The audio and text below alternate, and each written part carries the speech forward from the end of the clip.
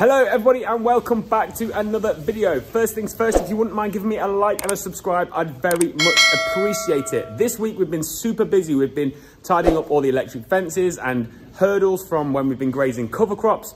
We have been fixing a drain that we found in a ditch. We have been weighing cattle and we've been bolusing cattle. So I hope that you enjoy what you see. First job of the week is to round up these cattle hurdles. So essentially these cattle hurdles are some Bateman cattle hurdles that we bought earlier this year um, to replace some old gates that we got for getting cattle in at Thornton. They have been an absolute godsend. They're the kind of thing that we bought expecting not to use them very often and we've used them all the time. They're always out of the shed. Um, and we've got a bit of a plan for these when we're calving, which I've not really revealed anything. We'll talk about that in another video. But um, I've got three here and I've got three further down the field and they're just in gaps where um, we normally use for arable access. We don't have any gates and we've grazed these fields because they were cover crops, grazed them with the young stock. We bought the young stock in end of last week and now we're just trying to tidy up. Essentially, Dad's rounding up all of the um, electric fences and I'm gonna go and help him in a minute and I'm charged with sorting out the water troughs and sorting out these hurdles. So let's get to it.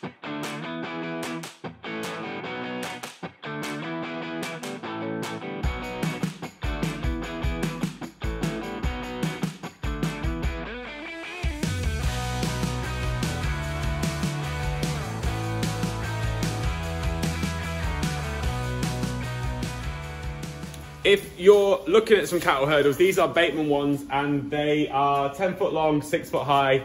We got them from Colin Catley, so at Peckleton, have a word with him if you are local and you're interested. He will be able to sort them all out for you.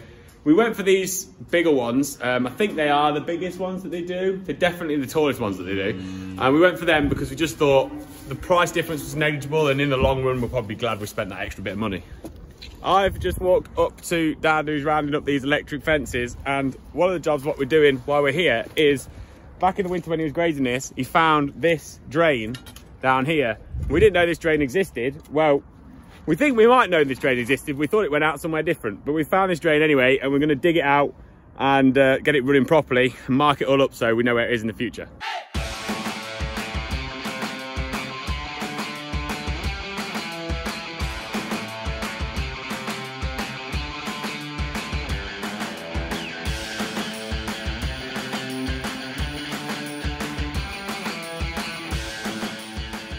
So this is what we've found.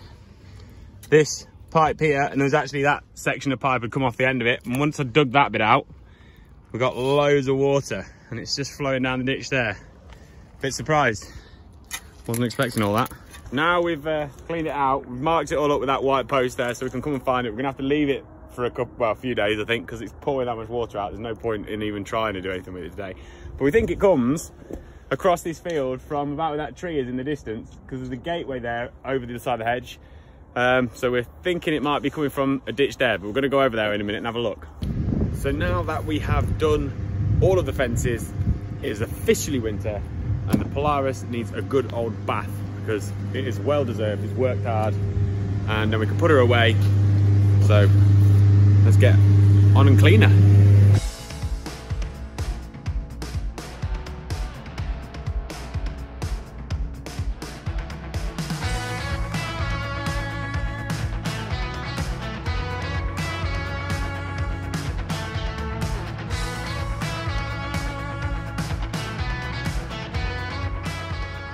Another job that we really want to get done this week is we want to weigh all of the young stock and we want to weigh the fat heifers as well.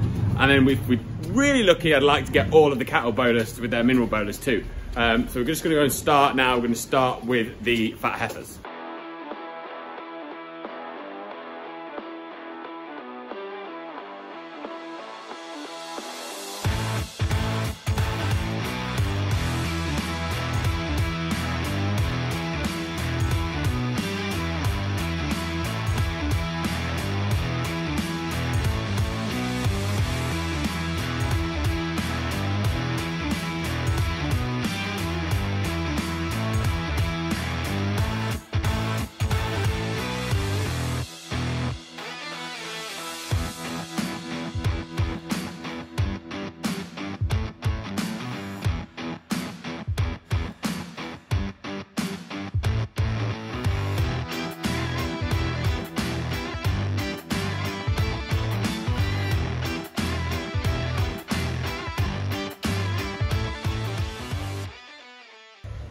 Actually really pleased with those heifers. Um, the biggest one weighed about 650, the smallest one weighed about 575, something like that. Uh, the vast majority of them weighed around the two, about 620 mark, sorry. So really, really pleased. What I'll do now is I'll take those figures off the iPad, put them onto the computer, and then I'll sort of, sort of analyze what their growth rates are and uh, see what's ready and what's not. But we've still got a bit of time left today, so we're gonna go and weigh some of the steers.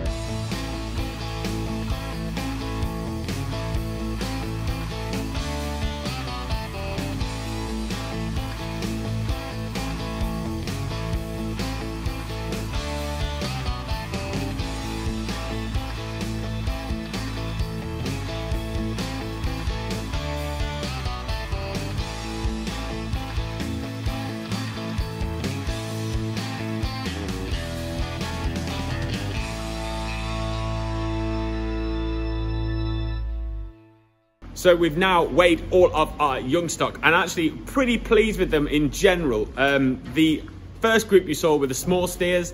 They averaged probably around about 270, 280 kilos. The smallest one in there is about 180 kilos. It's one of those weedy little things that everyone has that people try to deny that they have. Um, and yeah, they generally were pretty good. The biggest one was just over 300 kilos. The second group you saw were the heifers and the heifers as a rule, weighed average probably around about 300 kilos. The biggest one was about 340. The smallest one was probably around about 240. And then the last group you saw were the big steers. And the big steers, they weighed um, up to 380 kilos and averaged probably about 350. Um, so really, really pleased with those.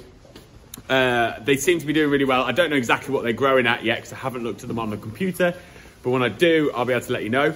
Um, so yeah, now we've got all that done, we probably should start and crack on with bolusing some of the cows. Last year, we decided to start and mineral bolus our cows as opposed to giving them buckets in the yard. And the reason for that was that when you put bucket in the yard, you find that some of the cows don't actually take the mineral bucket. They'll avoid, avoid licking it and whatever else. And some of the cows will gorge on it. And that can lead to deficiencies in certain cows. And often then that leads to difficulties when you start calving and so on and so forth.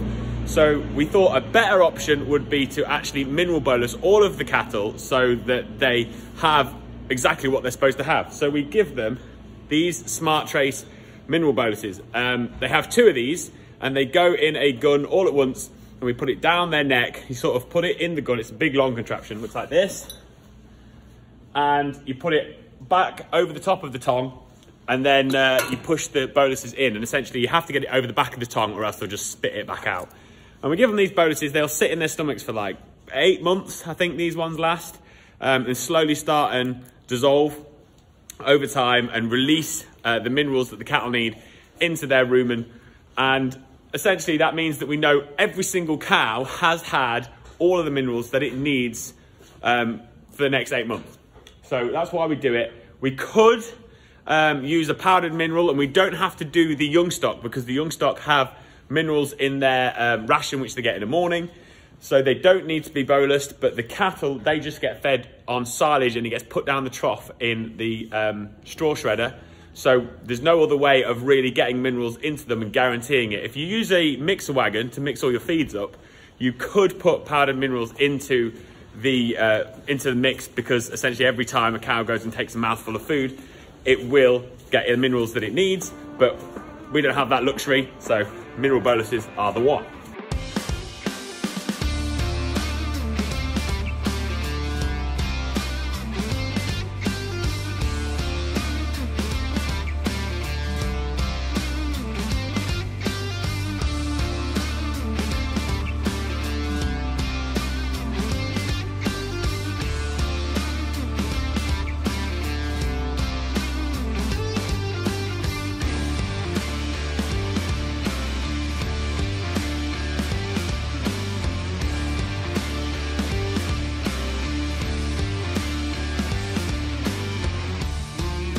And that's the Castle All Bolus, which is a great job to have ticked off the list. What you might have noticed is, in the background behind me, Dad was trimming up all of the tails of the cows. Now, the reason why we do that is um, it's just a general hygiene, good management practice. Essentially, if you have long tails and the cows get them really mucky, they can wipe that muck all around their udders. So we try to trim them, get them all short so that when we start calving, um, the teats stay clean and the calves haven't got that area where you can get a lot of transmitted disease. Because if you've ever suffered with something like Johne's, one of the biggest vectors for disease is the teats when they get mucky. Um, Dad eradicated Johne's from our herd probably like 15 or 20 years ago, but it's just a good practice thing that we've continued to do since then because at the end of the day, prevention is better than cure. And that's it Thank you very much for watching the video. I hope you enjoyed it. If you wouldn't mind giving me a like and a subscribe, I'd very much appreciate it. Look after yourselves, stay safe, see you soon. Bye.